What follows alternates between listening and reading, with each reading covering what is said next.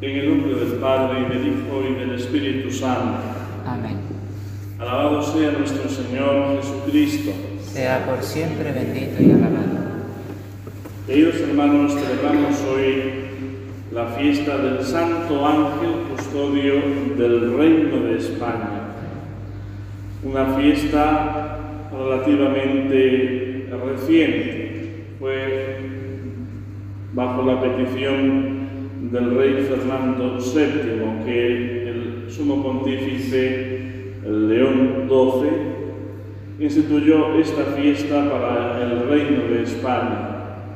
Pero desde muy antiguo, por no ir a la historia de la salvación, donde ya se nos habla de cómo los espíritus angélicos, los santos ángeles, cuidan de los pueblos y de las naciones. Pensemos, como hemos celebrado hace apenas dos días, la fiesta del santo de San Miguel Arcángel y que era el ángel del pueblo de Israel por tanto el ángel de una nación, eh, la nación y el pueblo escogido por Dios. También en otros muchos pueblos y naciones hay ángeles. Recordemos, por ejemplo, las apariciones de Nuestra Señora Fátima, el ángel que se le aparece a los pastorcitos le dice, yo soy el ángel de la paz, el ángel de Portugal. Y así podríamos indagar y seguramente encontraríamos otros muchos casos.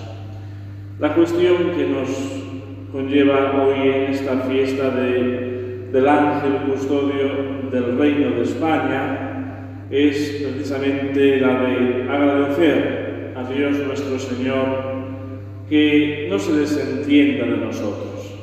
A pesar de nuestros pecados, de nuestras miserias, de nuestras infidelidades, tantas veces manifiestas a nivel personal, pero también a nivel eh, como pueblo. Sin embargo, Él nos sigue guardando y protegiendo de una forma particular por medio de los santos ángeles. Ellos nos custodian, nos guían y nos protegen. Y cuando hablamos ya de una nación, y es el compendio de todos los pueblos y sociedades que conforman nuestra patria, pues de alguna manera particular el Santo Ángel Custodio vela por aquellos intereses que son necesarios para nuestro pueblo y por tanto a él tenemos también que confiarlo. Y de una manera especial hacerlo con aquello que ha sido característico y propio de nuestra nación, de ser receptora del Evangelio desde los tiempos apostólicos. Aquí vino Santiago el Mayor, que fue el primero en derramar la sangre del colegio apostólico, a el Evangelio de la verdad, a sembrar la buena semilla. Aquí fuimos privilegiados con la presencia de la Santísima Virgen todavía en carne mortal, cuando a orillas del Ebro se apareció al apóstol Santiago y a sus discípulos.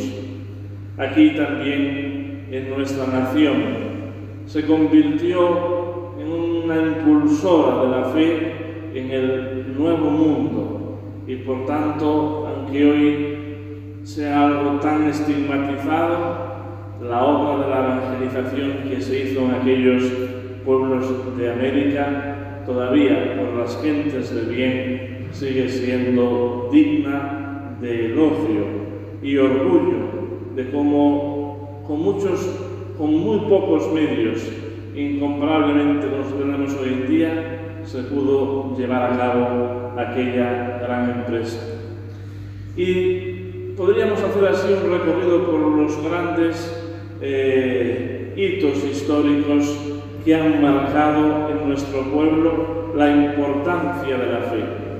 Y precisamente en este momento, donde se ha querido estirpar el alma de cada pueblo y de cada nación, de alguna manera borrando todo elemento eh, religioso, sobrenatural, que ha quedado como algo anecdótico, a veces incluso folclórico, sin que sea esto un término peyorativo en la propia cultura e identidad. Y sin embargo, España ha quedado marcada precisamente por ese alma cristiana, España, tierra de María, no, no se entiende esta unidad de pueblos distintos, de pueblos diversos. Y por eso necesitamos, frente a esa ola de secularismo, de laicismo, volver a recuperar nuestra identidad nacional, que brota precisamente de esta unión por la fe, como quedó plasmado en el tercer concilio de Toledo, cuando Recaredo abjuró del arrianismo y se manifestó la unidad católica de la nación española. Y precisamente porque los enemigos de la fe, que son los enemigos de Dios y de nuestra salvación, no están nunca de brazos cruzados, pensando que en la debilitación de la Iglesia y de su misión, pues les dé el trabajo hecho.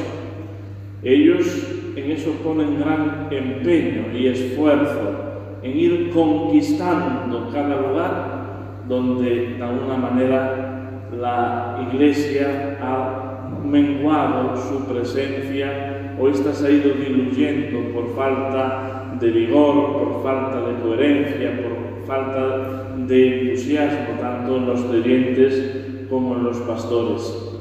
A veces con esa mentalidad de la falsa tolerancia, de pensar erróneamente en el bien común.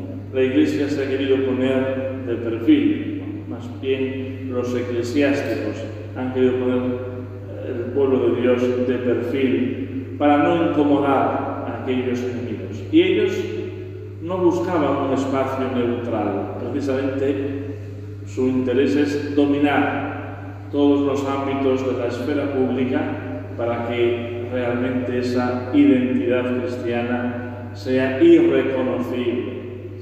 Pues pidamos en este día por nuestra nación al Santo Ángel, custodio del Reino de España que privilegiados con su protección, que es al mismo tiempo el cumplimiento de la voluntad de Dios sobre un pueblo y por tanto la manifestación de la cercanía y de la proximidad del Señor para con nosotros, seamos dóciles a las inspiraciones que los santos ángeles nos, eh, nos nos dan y podamos realmente buscar ese servicio al Señor, que es lo mejor que podemos hacer en este mundo hasta alcanzar la patria definitiva, el reino de los cielos. En el nombre del Padre, del Hijo del Espíritu Santo. Amén.